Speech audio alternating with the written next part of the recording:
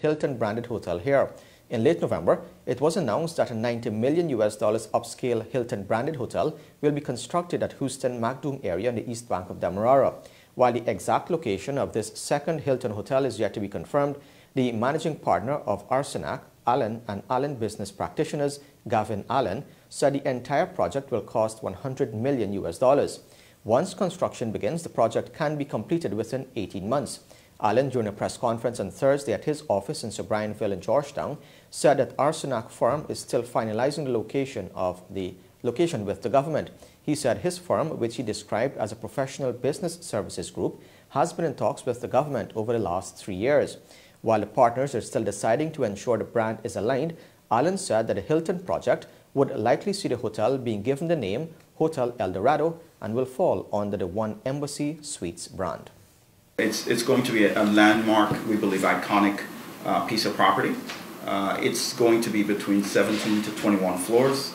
Uh, we believe we're going to cater for about 150 to 200 uh, vacancies, hotel vacancies. We'll also have about 90 executive suites and about two ultra uh, luxury suites. Uh, there's a possibility that we're going to attach helipads to that project and we're, we're still looking to see uh, from an engineering standpoint how, how that would, would work. This project is going to run us approximately $100 million, uh, uh, quite a significant amount of money. Uh, we do believe at the time of uh, construction, uh, we'll be able to employ somewhere in the vicinity of 400 to 500 local employees, in addition to the subject matter experts and, and, and different disciplines that come uh, to bring such such a project on board. Uh, at the time of opening, we, we estimate we'll, we'll hire about 300 local employees. Uh, we do believe that this, this property has the potential to be one of the additional economic drivers uh, in this country, allowing for world-class uh, business expats and other individuals looking to come back to Guyana and promising to take residential housing on the Essequibo coast to the next level, a popular businessman on Wednesday launched a gated community at Windsor Castle called Jagsville. The proprietor, Tamish Jagmohan, said the project will commence shortly and will provide close to 200 house lots. Bibi Katoon reports. Jagsville at the Windsor Castle community on the Essequibo coast will be providing 171 house lots. During a sod turning ceremony at the site of the gated community on Wednesday, General Manager Curtis Mattis said much needed jobs will be provided to residents of Essequibo. This housing project will create numerous jobs for the people of, of Essequibo during the construction phase. This is in addition to the 200 plus individuals that are currently being employed by the businesses that Mr. Jagmohan owns along the Essequibo coast. He hopes that he will be able to work hand in hand with the government to do this and several more projects that he has in mind.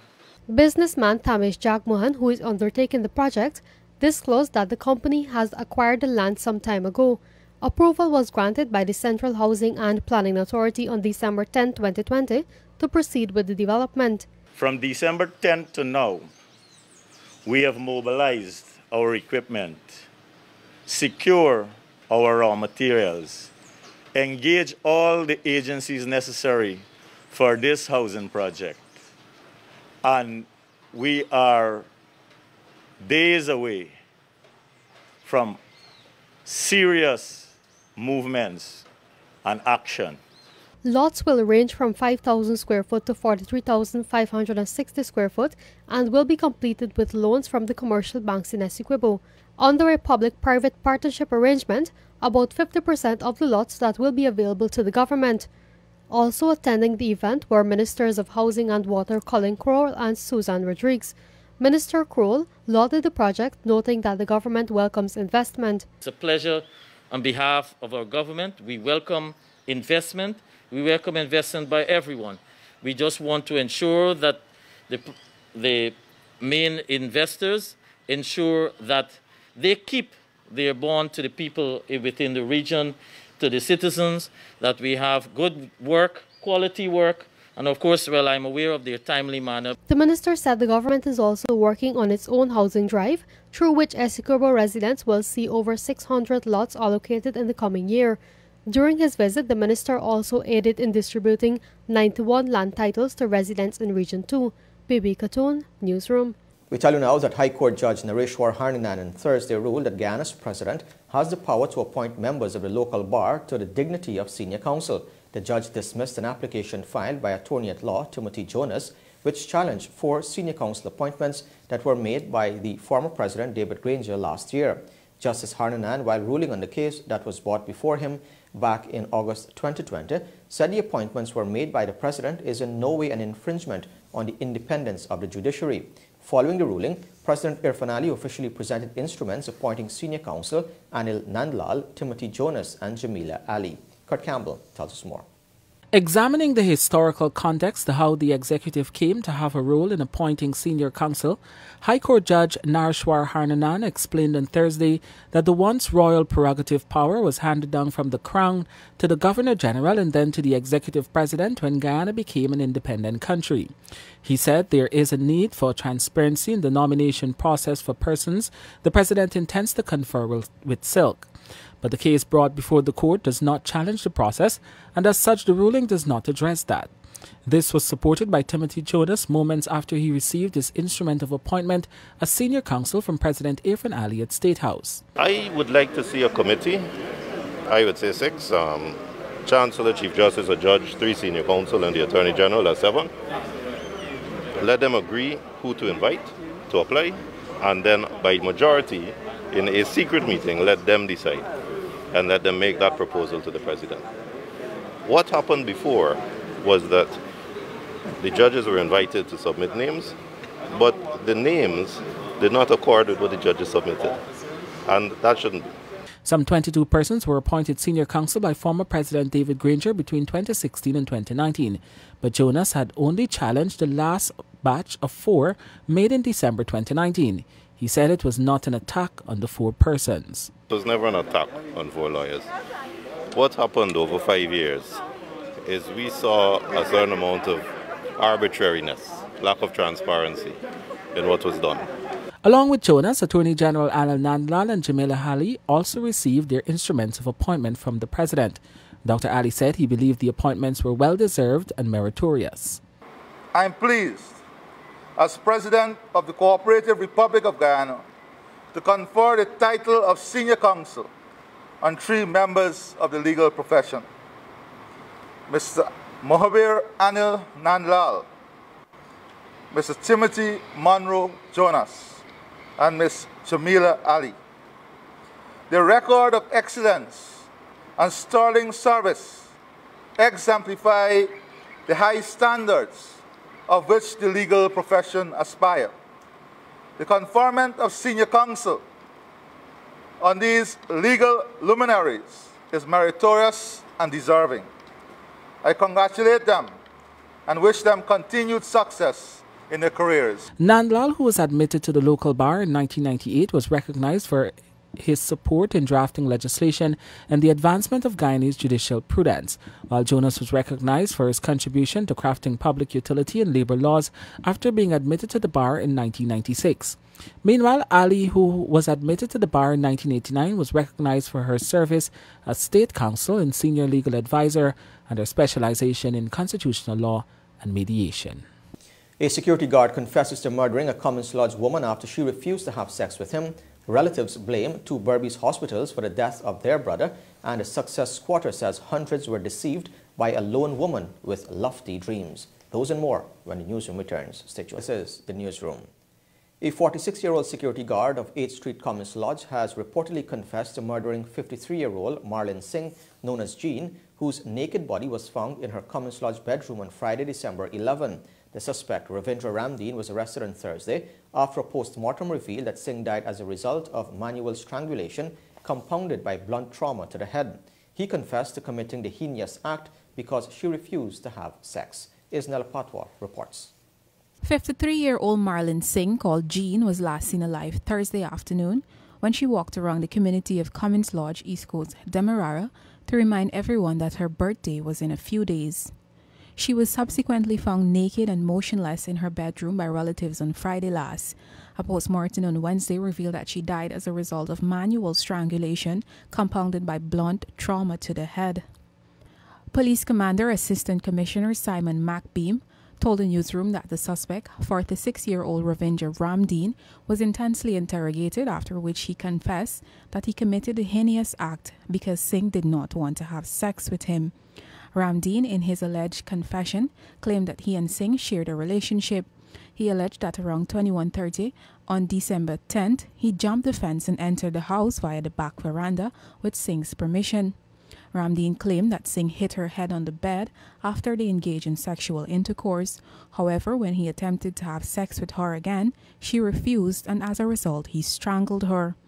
Her father, Suraj Bali Singh, explained that he was in the lower flat of the two story house when he heard Singh screaming the night before she was found dead. Me hear one little, little scream like, you know, uh-huh. when me when they, they, they donkey, me see donkey. So me, me call for um, the girl, Jean, Jean. Me not hear no nice. But they do, they do, they, this door they have, the back door. Me you know, buy like big thing or something. Anyway, then get in. Took me to get in and after that uh, morning, when me go, me try get in there. Misi jin jin ni dung bel so naked skin. Oh, me kasi kasi kasi me say this girl did.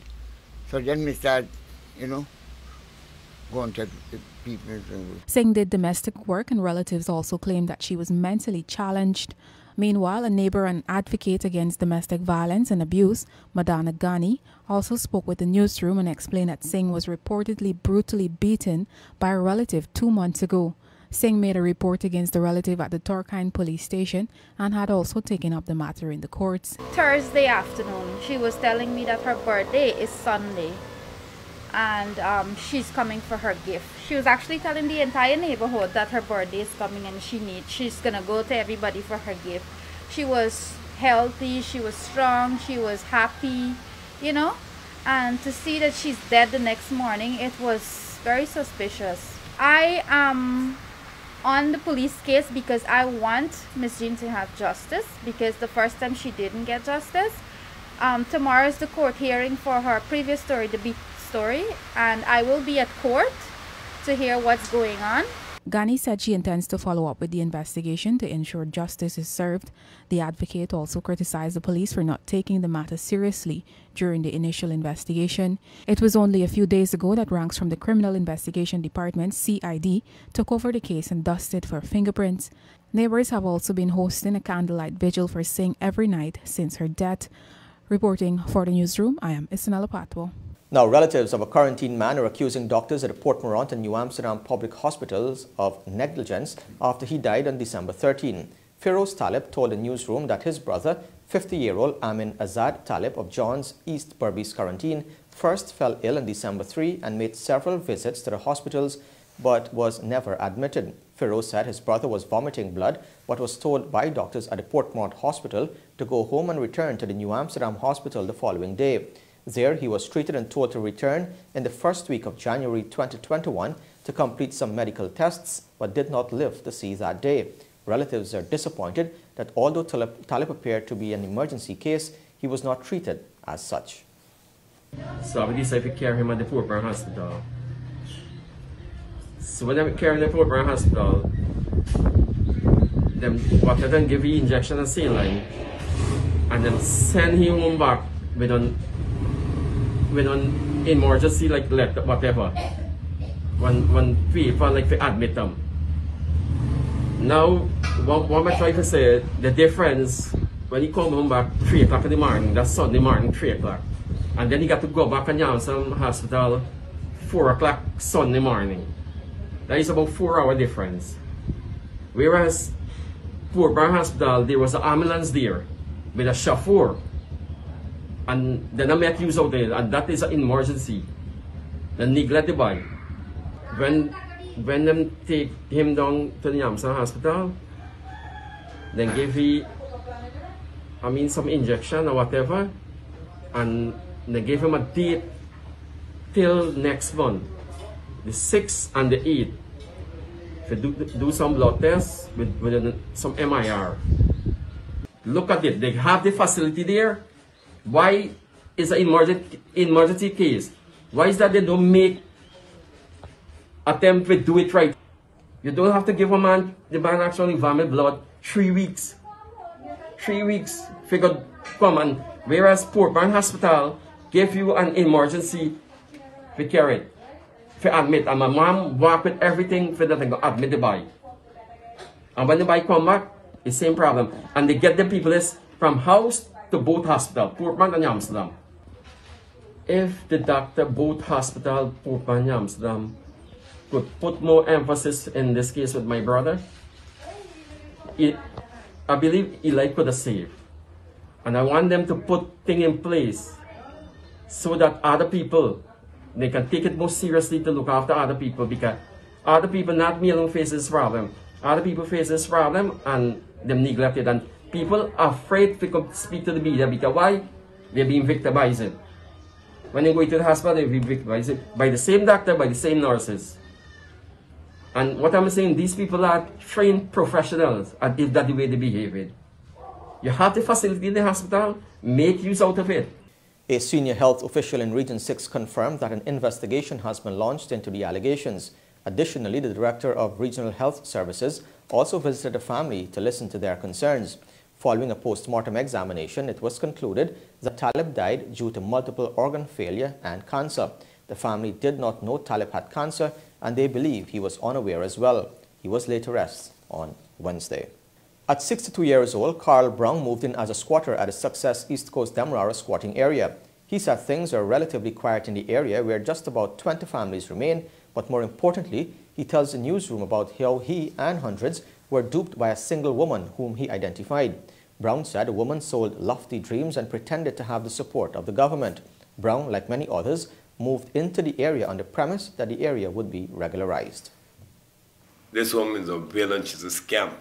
She is conducting a scam. And I think the government ought to put on her because she got systems.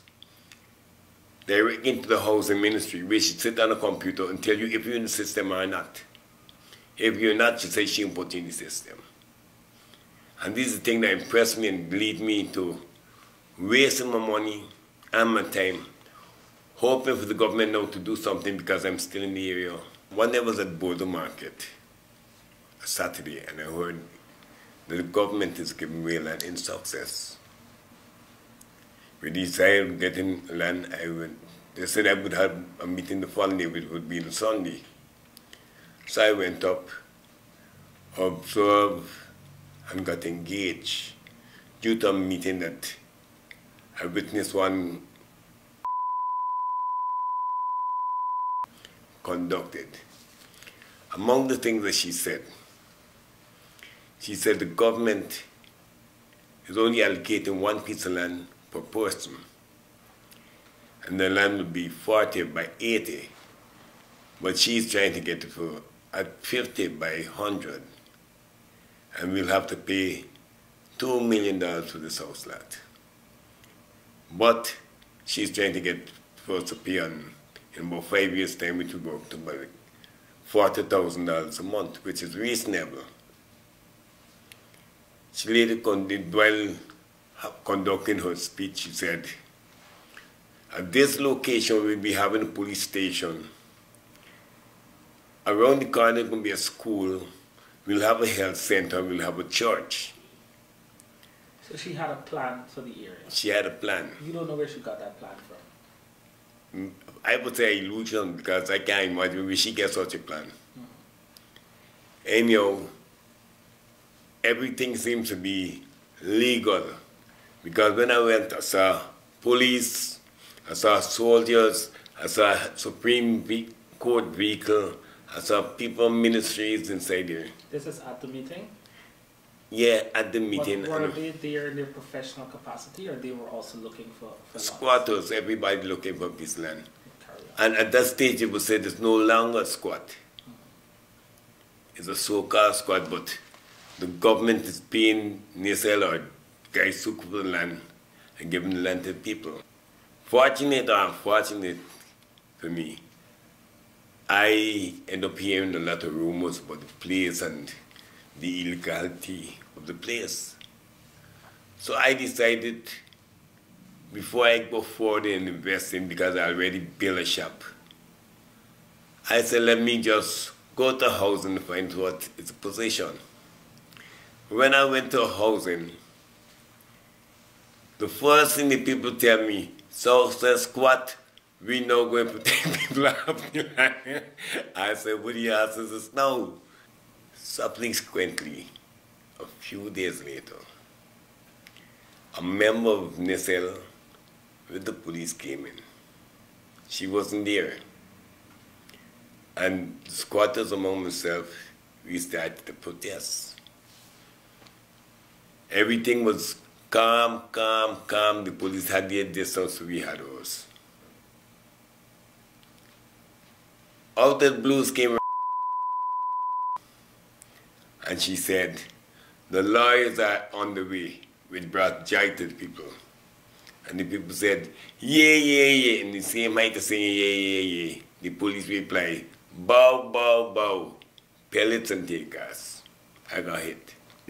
She later, she took money, saying, we will not wait for the amount of time government take to put water on a proper bridge. We will dig a well and we will do our own water supply. Did she did she dig the well? No, the well wasn't dig. But thanks to what, what for the purpose of water for the community. After the heat came on in the place, all the lumber, all the tanks that she has commu communicated with people to get their money to buy these things, she put in a canter and went away. She's now somewhere in the Timehri area conducting the same thing. This is hazardous, this is dangerous, this is chaotic. Because she's taking, making poor people invest their money, creating a war between the government and these squatters while she inherits the suite. As of now, the place is dead. There maybe got about 20 people in the area. And how much was there before? Um, your estimation? About two to 3,000. And only 20 remaining? About that. Where did the others go? Wow, crazy color. That's crazy color. Because I can't understand, everybody stood up and fight. When it's all peace and quietness, no one is there except we who are there. It means that these people only wanted with the government, now they got peace they wanted. Still ahead on the newsroom, 20 imported cases of COVID-19 reported since the airports reopened and the city mayor wants funds diverted from Albouystown to complete the repairs on the Kitty Market. Stay tuned. This is the newsroom. Since the reopening of the Cheddi Jagan International Airport and the Eugene F. Correia International Airport on October 12, there have been 20 reported imported cases of COVID-19, the Minister of Health, Dr. Frank Anthony, revealed on Thursday during the daily COVID-19 update. Passengers who were in close proximity to those who tested positive were also contacted by the ministry and asked to self-isolate or self-quarantine. Passengers who provided a negative PCR COVID-19 test, which was done within four to seven days upon their arrival here, have to undergo another test at the airports when they land. We have had, um, since we have reopened the airport, we have had 20 imported cases and um, we have reached out to those persons. Uh, we have told them they're positive. Uh, we have explained to them the measures that they need to take and we have been monitoring them. So we are going to continue to do that. In addition to those passengers who have tested positive, uh, we would normally reach out to the persons who sat next to them, like the rows in front, side, at the back, uh, because these uh, other passengers would have been in close proximity uh, to the infected person and would have been, you know, for a number of hours. So the, the possibility of spread is there. So for those other passengers, uh, when we reach out to them, uh, we are trying to get them to quarantine themselves uh, so, so as to look to see whether or not uh, there's a, the development of the infection, um, you know, with them.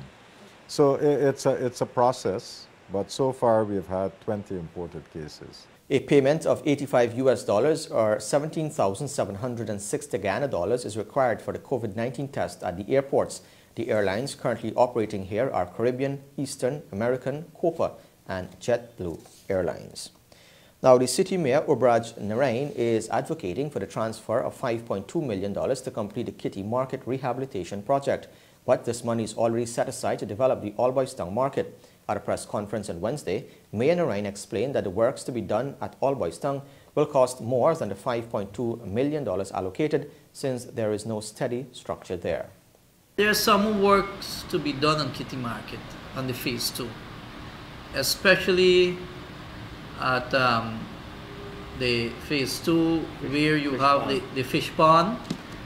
I believe that we no longer want it to be, let it be a um, one story. We want it a two story so you can accommodate more vendors in a more um, decent way so that people can go and shop there. And you know, I believe that five point something million will able to do good for Kitty Market.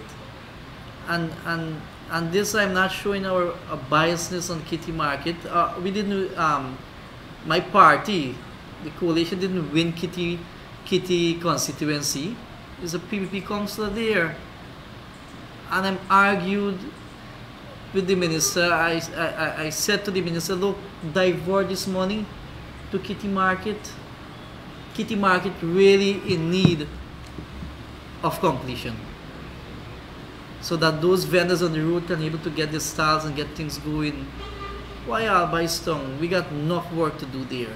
We need a holistic plan for Albouystown. When you speak on development, Albouystown market should be something, a three-story something there. Have uh, office complex um, that way people can operate different businesses. Works began on the Kitty Market in 2016 by the Mayor and City Council but was delayed after the Council experienced constraints. In 2018, $50 million was dedicated by the Council for works on the market, but to date, the facility remains incomplete and vendors are forced to ply their trade on the roadside. When the newsroom returns, the financial weather and bird reports along with sports. Stay tuned.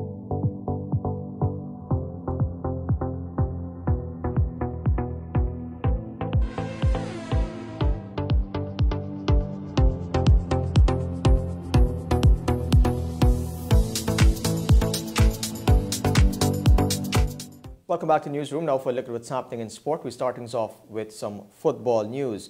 The former Golden Jaguars captain Christopher Nurse is happy that some level of resolution has come out of the controversial switch in home venue when Guyana clashed with Mexico in the 2014 FIFA World Cup qualifier. Akim Green spoke to the midfielder and filed this report. The highly anticipated fixture, which is slated to occur on local soil during 2012 at the National Stadium Providence on October 12th, was controversially switched by the Federation to Houston, Texas, in the United States of America. It was initially mooted to be staged at the University of Phoenix in Arizona prior to the ultimate venue.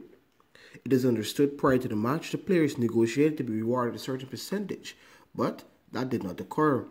On December 10, via media release, the Guyana Football Federation stated it has commenced one-off payments of US $500 the national team players and staff assigned to the 2014 FIFA World Cup home qualifier against Mexico following an in-depth and independent investigation into the matter. Nurse indicated that while the sum is not marginally close to the expectation, one is still grateful. I think if everybody looks at the magnitude of the occasion, the game versus Mexico, uh, and the stage, I think anybody in their right mind who understands the game will, will realize that $500 is nothing in the scope of football, but something is better than nothing. The former captain revealed there was a possibility of the federation benefiting from around US $500,000 had they operated in a more proactive manner. The, the robbery as such was obviously to the Guyanese public because being able to bring a team like Mexico into Guyana and you know fill the stadium and bring the atmosphere and the experience for the fans is something that was taken away from them. But from a business perspective, you know, the, the figures that were being thrown around at the time were in, a, in excess of half a million US dollars that the Federation could have capitalized on had things been done in a more proactive and timely fashion. You know, they're talking about the game was to be played at 66,000 seat stadium and given enough time to market the game fully, you can imagine the kind of revenue that that would have generated. And then the money, the, the, the kind of investment that could have been put into the infrastructure of football in Guyana with half a million dollars would have been incredible, you know. The, the, the local players now, you know, we wouldn't be going through periods of where they're very stagnant and not playing on facilities. You know, we would have had a, a huge, you know, cushion to develop football in Guyana. But unfortunately, that wasn't the case, and we we sold the game in the end for reportedly a measly seventy-five thousand US dollars. When you look at the biggest scale of football, that's not very much at all for a game of that magnitude. At the 2019 Congress, the GFF stated the independent investigation into the switch qualifier didn't discover any evidence of criminal misconduct by the then executive committee. In the grand scheme of things, Norris said the biggest reward will be seeing the family of former goalkeeper Colin Edwards being rewarded. A 21 year old passed away following a motorcycle accident in February 2013. For me, the best thing, and I hope somebody can catch it the moment on camera, um, is when Colin Edwards' family is going to be able to receive, you know, a, monetary um, gift as a result of the hard work he did when he was here with us. You know, we all know Colin Edwards left us a long time ago, and that's one of the reasons I've been fighting for this because there's players here who cannot fight for it anymore. And the fact that his family now are going to be able to receive some money for the hard work and what he achieved when he was here with us, for me, that is one of the, the biggest blessings to come out of this whole thing. You know, that's the that's the most positive thing for me that's going to come out of this. For the newsroom, Akim Green. Cricket news now, Guyanese trio Trevon Griffith, Ashmead Nedd and Devendra Bishoo combined to give 22 yards their first win of the US Open T20 tournament on Wednesday at the Central Broward Regional Park. They defeated Afghan Zwanan by 7 wickets after their opening day loss to Atlanta Paramveers by 6 wickets. Afghan Zwanan batted first and posted 102 all out in 19.4 overs with opener Cody Chetty being the only player to get into double figures with 51 of 58.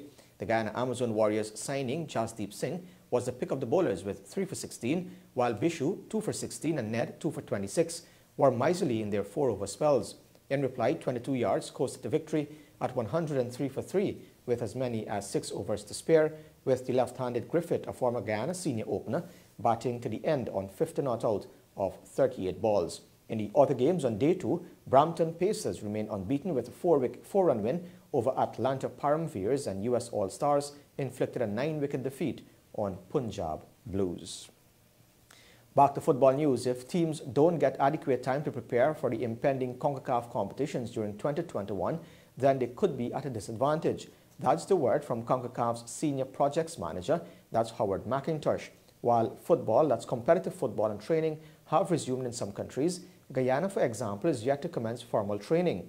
Guyana's Golden Jaguars are down to compete in the CONCACAF World Cup qualifiers and the CONCACAF Gold Cup prelims during the first half of 2021. Here's what McIntosh had to say on the issue. Uh, a concern, maybe a small one, in all honesty, because uh, football is being played in most parts of the, the world now. Uh, and also in other parts of CONCACAF, where most of the leagues have actually resumed.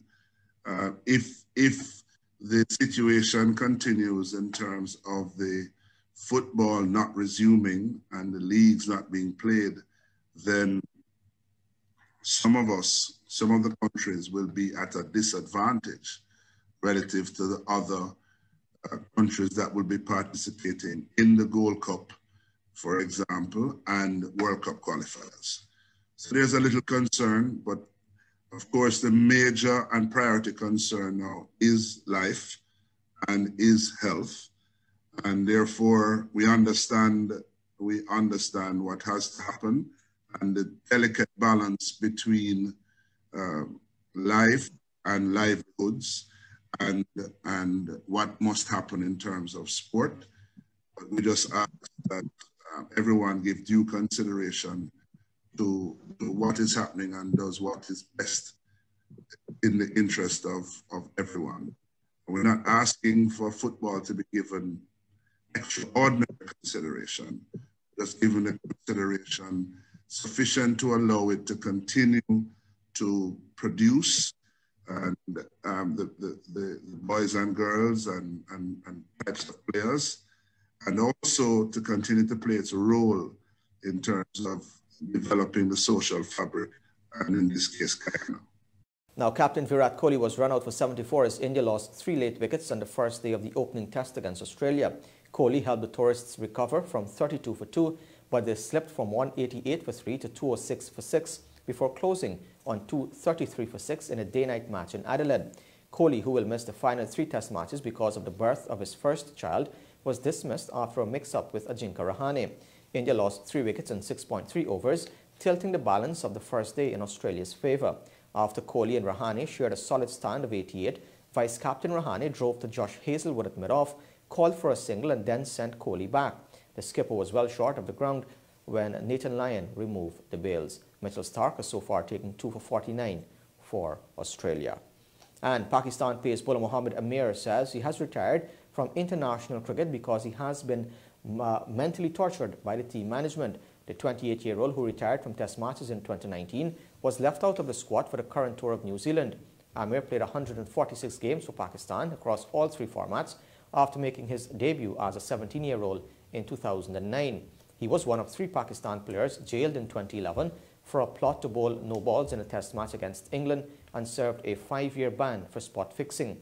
Amir took 119 wickets at an average of 30.47 in 36 test matches, 81 wickets at 29.62 in 61 ODIs, and 59 wickets at 21.4 in 50 T20 internationals. And finally, in sport, Formula One's governing body, the FIA, has confirmed the calendar for the longest season in history next year. There will be 23 Grands Prix held next year, uh, next year, starting in Australia on March 21 and ending in Abu Dhabi on December 6. The British Grand Prix at Silverstone will be on July 18, and the Brazilian Grand Prix has been firmed up at the Sao Paulo's historic Interlagos circuit on November 14. The calendar is dependent on no further coronavirus pandemic disruption. F1 has said it is confident it will be able to run a full calendar. Plans for the Australian Grand Prix in Melbourne to be held in an F1 biosphere are already on the way. The date previously allocated for the Vietnamese GP, that's 25th of April, is still empty pending a host country being found. And with that, we've come to the end of the news for this evening. Of course, you can find updates on these and other stories on our website, newsroom.gy, our Facebook page, and Instagram. On behalf of the entire news team, my name is Avinash Ramzan. Thanks for watching. Be safe. See you next time.